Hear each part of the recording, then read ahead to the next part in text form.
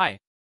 The Human Rights Foundation, HRF, has initiated a bug bounty program to boost the development of Bitcoin and the Lightning Network.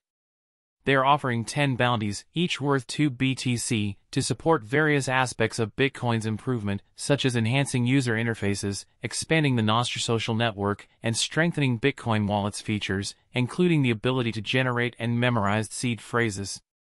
The HRF's goal is to promote financial freedom for dissidents and human rights activists worldwide.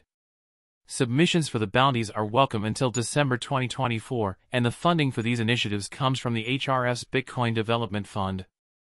Thanks for watching, subscribe to my channel, bye.